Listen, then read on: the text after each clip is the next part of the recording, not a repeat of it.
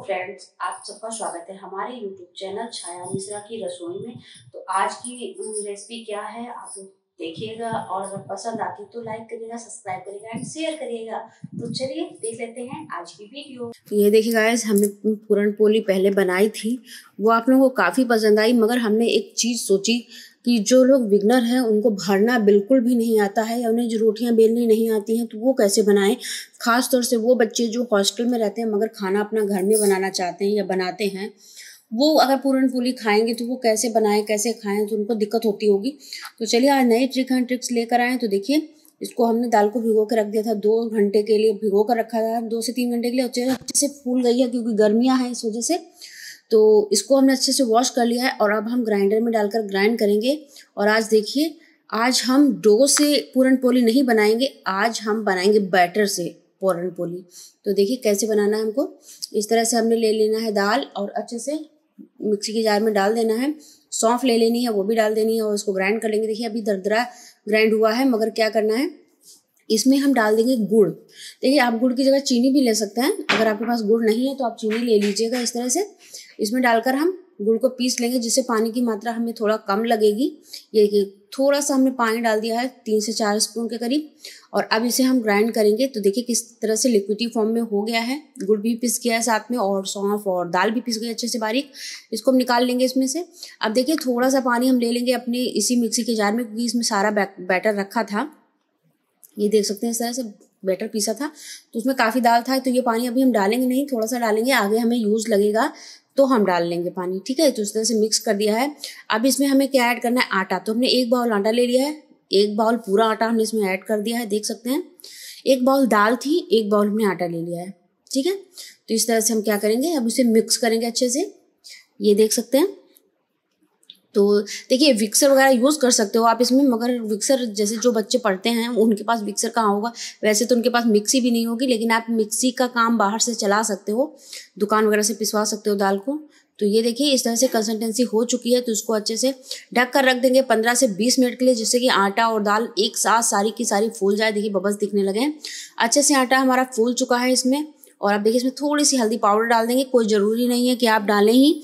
हमारा जो गुड़ था वो ब्लैक कलर का था थोड़ा सा था, पुराना गुड़ था, इस वजह से आपको हमें हल्दी डालनी पड़ी। आप चाहें तो ना भी डालें, कोई दिक्कत नहीं है। तो देखिए नमक डाल देंगे इसमें थोड़ा सा और थोड़ा सा हमें थिक लग रहा है बैटर तो इसमें हम थोड़ा सा पानी भी ऐड करेंगे। क्योंकि ये जब हमने रख दिया था इसको फूलने के लिए, पंद्रह मिनट के लिए तो ये थिक हो गया थोड़ा सा तो बिल्कुल थोड़ा सा ही पानी लेंगे। आप देख सकते हैं, ग्लास में कितना पानी लिया है।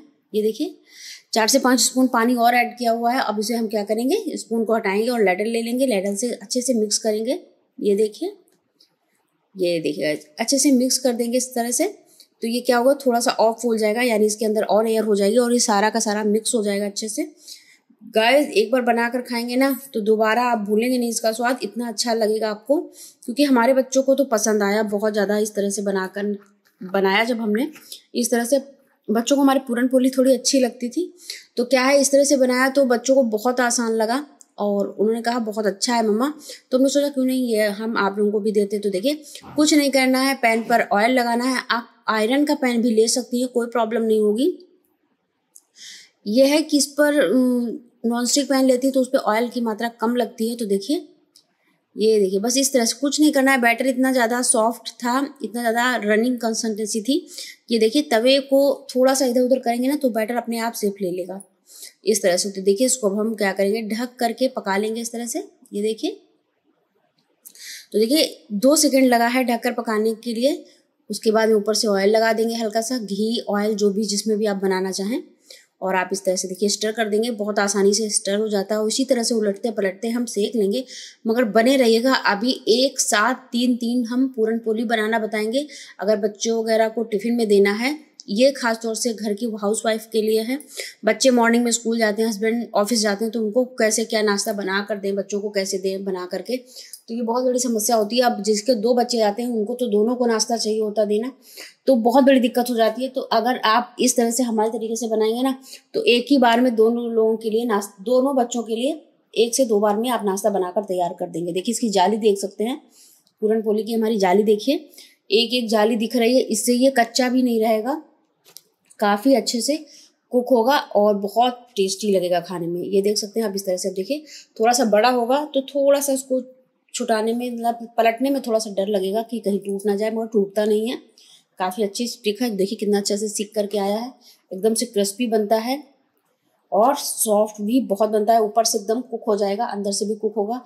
हर तरफ़ से मतलब कोई नानुकुर नहीं कर सकता कि एक अच्छा है या कुछ। तो देखिए, एक साथ हम कई बना लेंगे। ये देखिए, अब जो बच्चों को, छोटे बच्चों को टिफ़िन में देना होता है तो छोटे छोटे बनाते हैं हम। तो एक ही पैन पर देखिए, तीन बनकर तैयार हो गए हैं। आप चाहें तो आप चार भी बना सकते हैं। कोई दिक्कत नहीं होगी मगर थोड़ा सा हमने दूर दूर डाला जैसे कि ये फूले तो एक में चिपके नहीं ये देख सकते हैं। तो एक बार में तीन बन जाएँगे तो आप सोचिए कि अगर बच्चों को आप दो देते होंगे ना तो दो एक्स्ट्रा ही बन जाएँगे दो बार में। तो ये देखिए इस तरह से हम छुटा करके कर लेंगे।